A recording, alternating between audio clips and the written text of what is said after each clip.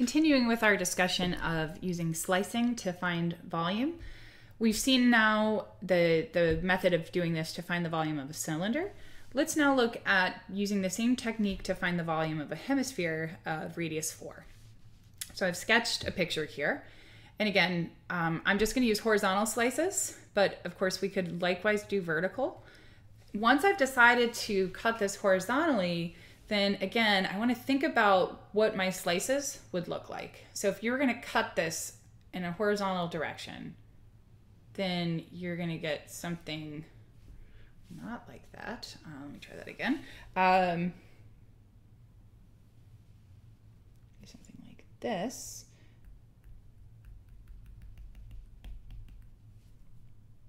And again, you want to think about I'm cutting this with a very small thickness to it. And because I'm cutting it horizontally, I'm chopping my height variable up in some sense. So this would be h sub k. The bottom h value would be h sub k minus 1. And this total thickness I could represent as delta h. Now, in terms of the pieces we have here, just like we saw before, delta H, I want to take the total height range and divide by the number of slices n. Remember that this is a hemisphere of radius 4. So consequently, the distance between the base and the very topmost point is also 4. So that's h sub k, or excuse me, delta h. To find h sub k, again, imagine that this hemisphere is sitting on the ground. Then we could see that the smallest value of h would be 0, and we can add to that k delta h, which in this instance becomes 4k over n.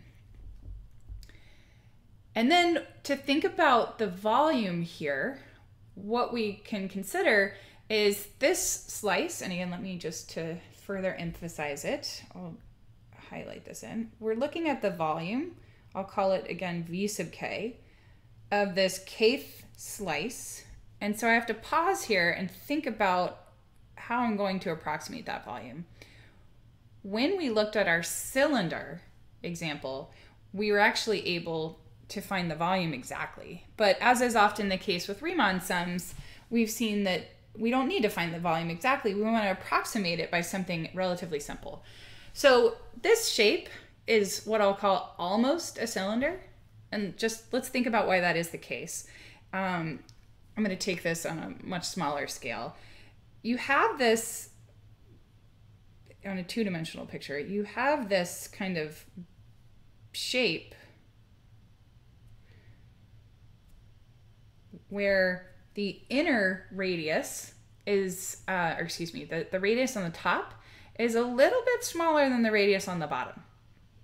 So, um, in some sense, if you want to think about this picture, right? We've got a circle here and a smaller circle here.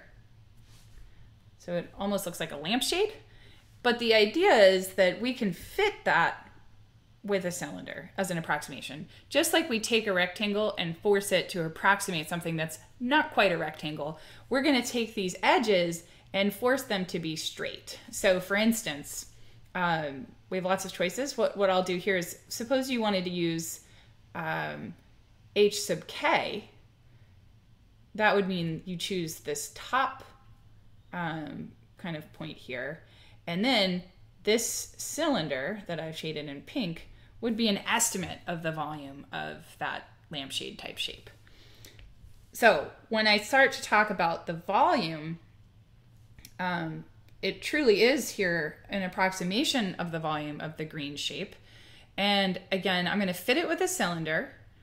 And what we can think about here is that it's going to be pi times whatever the radius is that I've chosen for my pink cylinder squared times delta H.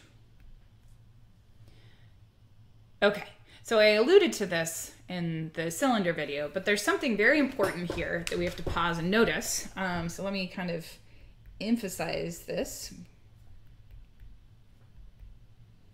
Currently, the way I've expressed the volume is as uh, something that depends on r sub k.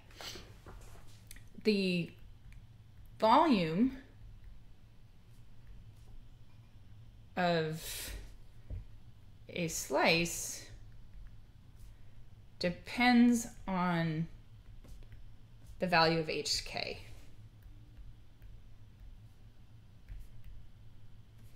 For comparison, that was not the case when we looked at the cylinder. Every single slice had the exact same volume.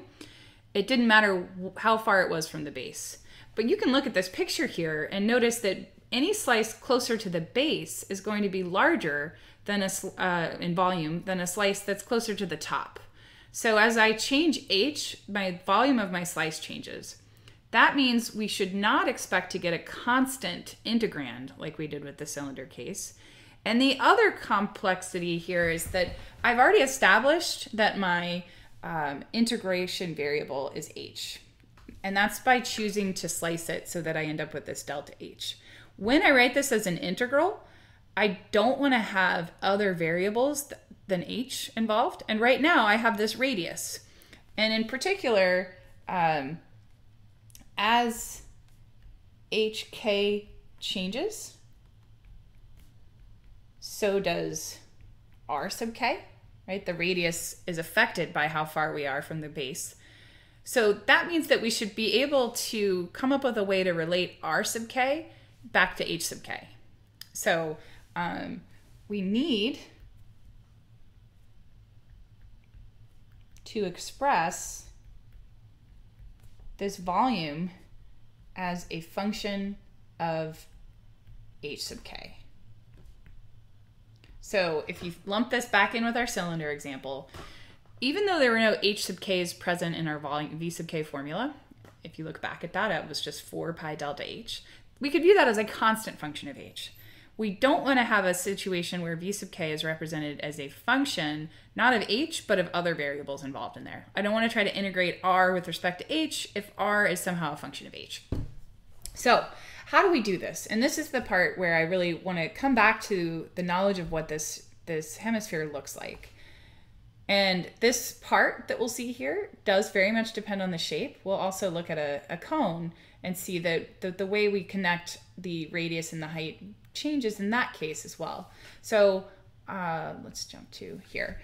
So I've, I've, what I've done here is imagine that you're looking at a kind of you're looking at the hemisphere from the front and you're just getting a two-dimensional view of it so i'm ignore, ignoring kind of what sits beyond this what i've done here is again shaded in the two-dimensional region that corresponds to my v sub k my kth slice if you will and what i would hope to get out of this is a way that i can relate h sub k and r sub k so need to relate h sub k and r sub k. Okay.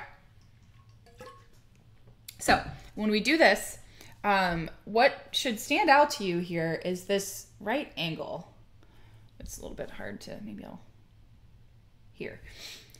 If you construct a triangle by connecting this kind of center value to the edge here, which I could have drawn a little more straight, um, you have a right triangle with the side lengths r sub k and h sub k. But importantly, we know the length of the hypotenuse here because this dotted line represents the radius, and the radius of the hemisphere is 4. So from Pythagorean theorem, we can now relate these. So we see that um, rk squared plus hk squared is equal to 4 squared. Now, if I go back up to what I know so far about volume, we know right now how volume depends on rk squared. So I want to use this formula to, to isolate r sub, r sub k squared. And we see that that is equal to 16 minus hk squared. So in saying that v sub k is approximately pi times rk squared delta h, we can now replace rk squared with 16 minus hk squared. So this is another way to approximate the volume, and this is preferable because this is a function of h. So with that, um, if you wanted to approximate the entire volume, which I'll just again use v, we can take the sum of each of our approximate v sub k's from k equals 1 to n. And now I have, at least by setting up this Riemann sum, now I have an idea of the structure involved and I can see exactly what kind of integral I'm going to get out of this. So um, sending n to infinity, we're going to get that the volume is exactly equal to the integral of pi times the quantity 16 minus h squared. Delta h becomes dh. And remember, in finding the numerical bounds, I come back up to my original picture and I think about h as really measuring how far I am off of the ground here. And I, if I'm on the ground, it's zero. And if I'm up at the very top, it's four, the radius of the hemisphere. So that sends me to zero to four. And at this stage, now we have enough information to compute the numerical value exactly here for the volume. If I anti-differentiate, I'm going to get 16h minus h cubed over 3, um, all times pi, and we're going to let h range from 0 to 4. If we plug in 4, we're going to get 16 times 4, which is 64, minus 64 over 3. It's all times pi, and so we end up with 128 pi over 3 is our final answer.